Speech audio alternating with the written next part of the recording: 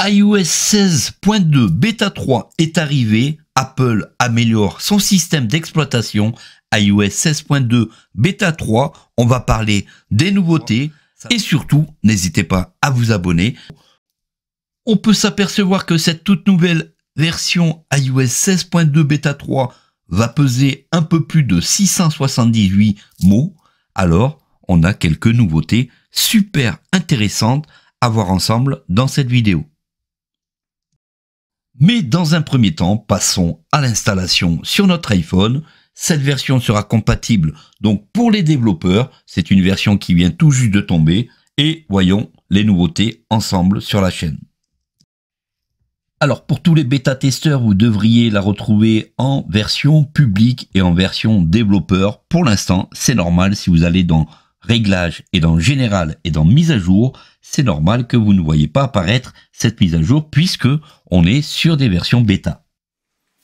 Allez donc, si vous êtes un heureux chanceux de pouvoir faire les tests de ces versions, si vous vous dirigez dans Réglages général et dans Information, vous allez voir que cette version se termine par un E et je vous annonce officiellement le 12 décembre la sortie officielle d'iOS 16.2.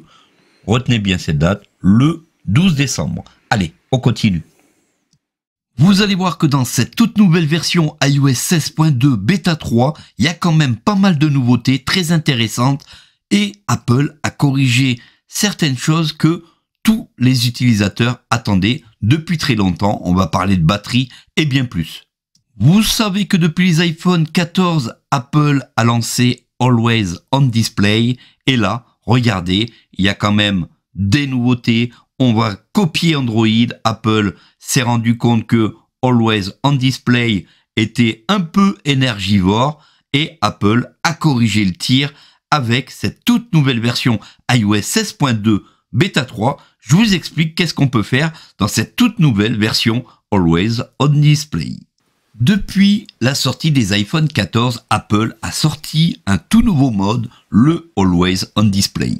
Alors, vous savez tous que depuis Android, ça existait. Apple s'est enfin décidé en 2022 de sortir le Always on Display sur l'écran de ses iPhones.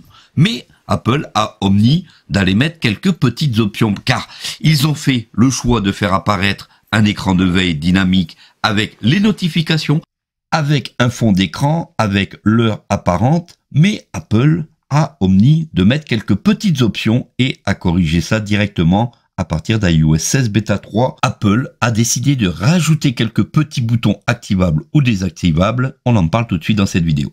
Tout ceci va se passer en fait dans réglage, luminosité et affichage. Vous aurez donc Always on Display et vous allez rentrer à l'intérieur. Et quand vous allez décocher Always on Display, regardez, on va retrouver un iPhone exactement comme avant avec un écran complètement noir lorsqu'on va verrouiller notre iPhone. Donc, on aura cette option qui sera vraiment radicale et qui mettra notre iPhone exactement comme on avait avant.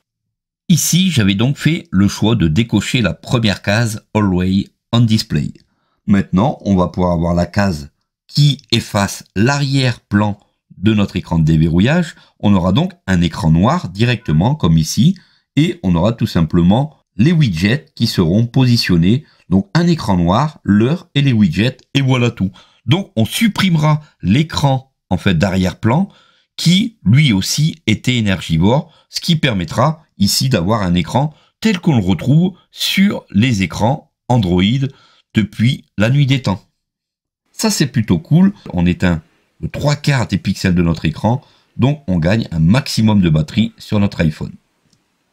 On aura donc un troisième choix, on pourra désactiver si on le désire en fait les notifications puisque pas mal de personnes se sont plaints d'être trop distraits par cet écran, par cet Always On Display sur l'iPhone, puisque les notifications apparaissaient, l'écran était lumineux, on avait pas mal de choses qui distrayaient en permanence. Apple a résolu ce problème avec cette toute nouvelle version iOS 16.2 et on peut maintenant cocher ou décocher à notre bon vouloir ce qu'on va voir apparaître sur notre écran de déverrouillage.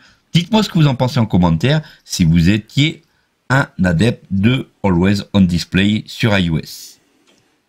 Alors, grosse nouveauté du côté de Siri avec cette toute nouvelle version iOS 16.2 bêta 3. On va aller dans Réglages, Accessibilité et dans Siri.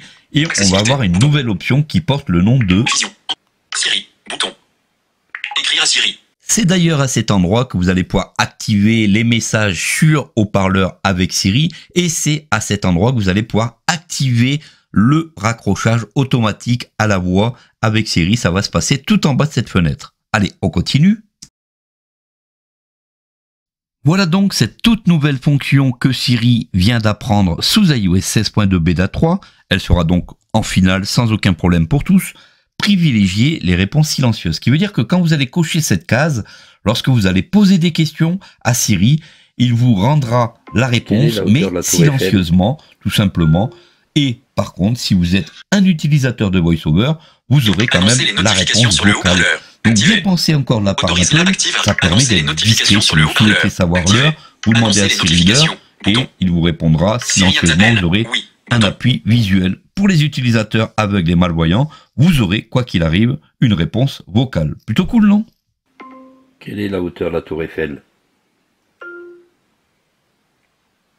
Quelle heure est-il?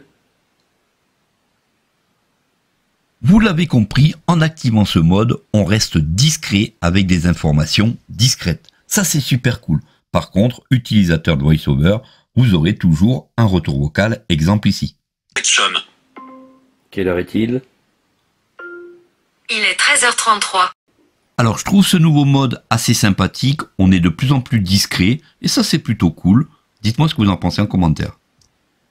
Voilà donc les amis pour les principales nouveautés iOS 16.2 bêta 3. Alors si cette vidéo vous a plu, n'hésitez pas donc à vous abonner, à mettre un petit j'aime pour encourager la chaîne sous cette vidéo. Et je vous dis à très vite pour de prochaines aventures iOS 16.2 finale pour tous. Et surtout n'hésitez pas à mettre en commentaire si vous rencontrez encore des bugs sous iOS, avec quel iPhone, avec quel iOS. Allez, à très vite pour de prochaines aventures. Salut à tous